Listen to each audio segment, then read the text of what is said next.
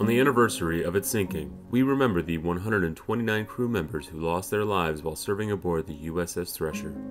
The lead ship of its class of nuclear powered attack submarines, the USS Thresher was one of the silent guardians created to fight and destroy Soviet submarines.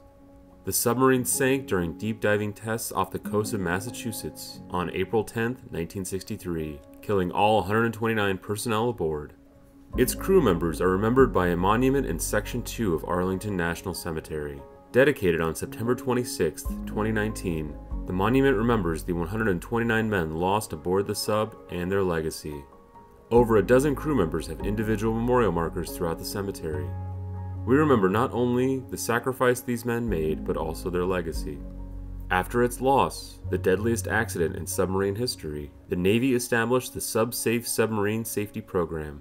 A commitment to safety, the program requires annual training of personnel, stringent certification requirements, and internal and external audits.